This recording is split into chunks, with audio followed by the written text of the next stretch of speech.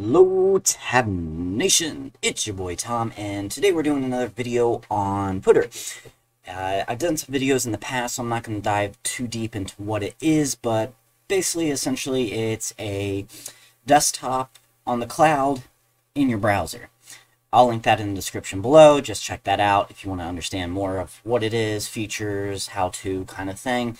Um, yeah, basically what happened here in why I'm doing this video as a follow-up is they just made this open source. Um, so obviously this will be in the description below, a link uh, to this. And, you know, here's all the file thing. So fork away. It's pretty cool. And it's funny because I, I noticed that my previous video about this suddenly had a skyrocket in views that's how I found out that it went open source, which is pretty cool just because, you know, a lot of people, they want to have more control. Maybe they want to adapt it to meet business needs or personal use.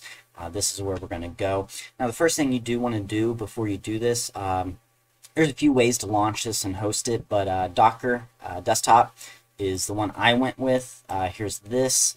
Uh, if you guys want to see me uh, how to install this and maybe play around with it in a video, let me know in the comments below or like this video.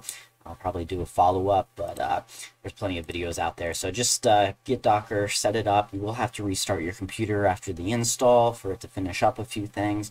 But it's really good for hosting uh, stuff like this. So there is this version, which as you see, there's like, you know, a Docker file here. Um, so that's what it is.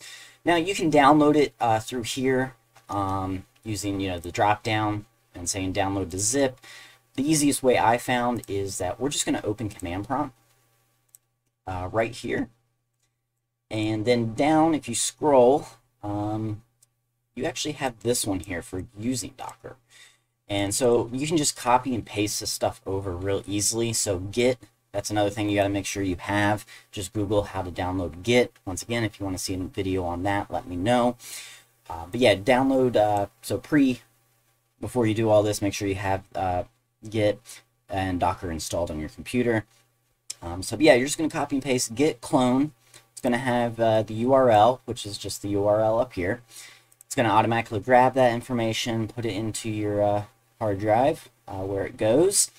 I've already done that, so I'm not going to really show you that. Um, I mean, I can. Uh, it's probably just going to tell me that it's already there. So I paste it in, I push uh, enter. Yeah, destination path already exists, so it's already installed. Uh, but then what you're going to want to do is cd, which is uh, going to change the directory uh, to that folder. So we do that. As you see now, it's pointing to that folder. And then we're going to do um, docker compose up. So we're going to do that, press enter, and this might take a few uh, moments for that. But yeah, make sure to hit that subscribe button. I'm always throwing videos out there, usually doing with AutoHotkeys and automation. And this is going to work. And the whole point of this is really to launch your own server within uh, like your own network. You can make it go outside your network, uh, but today we're just going to be testing it out on my network. So let me actually show you something real quick. Um, I have another computer here, and hopefully this shows up. Okay, not very well, but as you can see, um, it's not working right now. It's because I don't have it launched or anything like that. So we're just going to take a quick break here on the video. I'm going to pause it. I don't know why it's taking uh, so long. I'll be right back. Alright, so I am getting an error here, and that's just because I've already had all this set up. Uh, for you, it should launch. Uh, eventually, it will show you saying, hey, that everything went through fine. It's running at this uh, server port, um, which is 4000 by default, or just finds whatever the next one available is. Uh, so with that, you are going to need to do uh, port forwarding if you want to access it from multiple computers within your network. Um, so you're just going to log in using your router. Um, for me, I just type in 192.168.1.1, enter my password username, which should be on your router.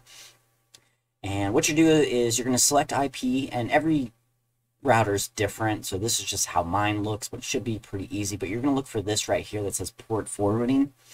And as you see, I made a rule here that uh, forwards to this computer's IP where I'm running the server, and the destination port is 4000. That's basically saying anytime I type in 4000 as the port, connect here to uh, this computer. Um, so what we'll do with then is type in localhost, the little uh, colons there from like what you see on a clock, 4000. We're going to push enter.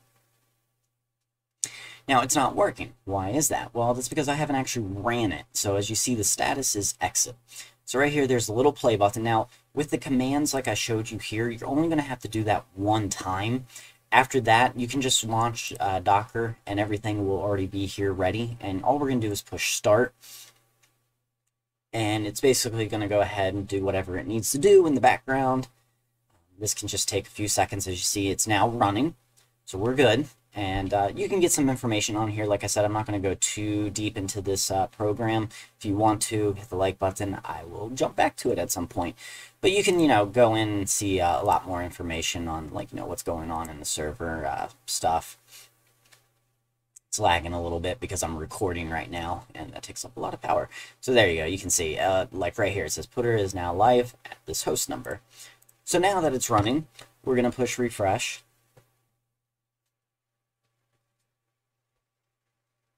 It's taking a second there. And there we go. Uh, it was taking a few extra seconds there just because I didn't realize that the server was still launching a little bit slower. Uh, but yeah, there isn't the desktop now. So as you see, um, you know, you can log in. You got all your apps down here, um, you know, Notepad, whatnot. Like I said, watch that first video. It explains a little bit more. But yeah, so if you're going to uh, run this locally just on this computer, you're fine just launching Docker and running it that way and not having to do the port forwarding. But, like I showed you on this computer, I'm going to go ahead and push refresh after I did that port forwarding. And that rule stays there forever unless your IP address on your computer changes for some reason. Obviously, you would have to just update that. Um, but yeah, this is really cool. You know, I can use this to basically be on one computer, move to another computer, still have this desktop. I actually found this very interesting to use with uh, touchscreen computers that I have or tablets because then I can have my data kind of follow me a little bit better very simply throughout the whole house. Um, which is really nice. It's super helpful. Uh, what do you guys think you're going to use this for? Um, and then maybe I'll do another video following up on how to access this outside of your network um, but keeping it inside your network obviously is going to be a little bit safer and easier. Um, also, if you want in the description below, I have a referral link if you haven't done this yet. It says right here, get one gigabyte for every friend who creates and confirms an account with Puter. Your friend will also get one gigabyte, so uh, storage. Um, yes, use that link and uh, hey, let's uh, get some free storage because one gigabyte's a lot, especially seeing that you only start with a, I think it's 500 megabytes. So that's, you know, pretty sweet deal there. All right. And there we go. And now I have accessed it on this computer. So yeah, it works pretty well. Obviously, it's only just now kind of gone live in the last few days at the time of filming this video. Uh, so for support, you know, maybe you want someone to test one of your apps out, have questions, you're having issues with this, um, you know, anything like that. There is a Reddit group, uh, which is great. You know, it doesn't have a lot of members in it. Uh, it can be slow just because it is, you know, Reddit. Not everybody's on there all day or has it on their phone. What I find the best way to do is actually Discord is probably by far the best you know, there's a decent amount of people in here. It seems to be growing pretty quick uh, as a community. And yeah, I mean, people are really great. There's a report a bug. And so far, at least, you know, I don't know what time zone they are, but the creators of this who are and the moderators, uh, you know, if it's the time when they're awake, it's crazy how fast they're responding to me. I've had these people respond to me. I mean, within like five minutes, tell them my problem, and then like the one problem I was having, they had it fixed in less than 10 minutes. It was crazy, and like everything just worked. So this is a great place to go for resources. There's a lot to do there. So Discord, by far, I think is the best as of filming this video. Reddit's alright, but this is awesome. This is great. Alright, if you guys have any questions, run into any issues, you know, let me know in the comments below if you find a solution to some weird thing you're doing. Uh, definitely share that too. That way we can all grow as a community.